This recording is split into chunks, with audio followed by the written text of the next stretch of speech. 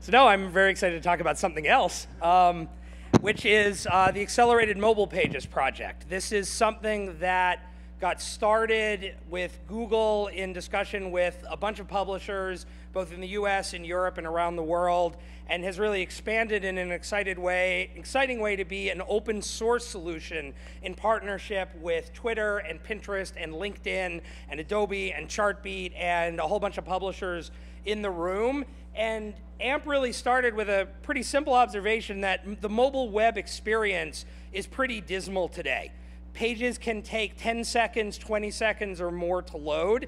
And at that point, half of your audience is gone. And we really wanted to be a part of helping to figure out a way to make that better, and particularly in a way that was open, that was not tied to going with one proprietary format or putting all of your content into just one app what we felt like publishers wanted and we, what we wanted to see happen was a continued robust mobile web, just like the desktop web, where people can publish and deliver great experiences. So if you haven't seen it, I really encourage you to go to the Accelerated Mobile Pages project. We've got a website talking about it. What it is in simple is a subset of HTML with limited JavaScript, ability to use CSS, and a structure that loads pages unbelievably quickly. And we announced our preview not too long ago. We now are in the process of going from that preview release that showed how things work all the way up to a full production release. And one of the particular areas that we want to work with the industry on is also coming up with an accelerated mobile ads experience. Our preview release was a really big wake up call because it showed that the ads can take 2 to 16 seconds to load.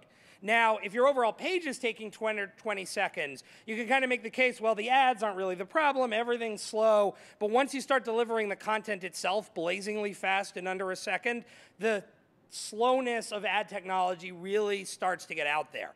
And there's a lot that we're going to be doing as Google to make our own ad technology run and load faster, but we also want to work with the industry. We want to make sure that all technology vendors can load ads really quickly, and it's going to feed into the ad blocking discussion about lean and what's a good ad experience because relatively little of that 2 to 16 seconds is the primary ad technology.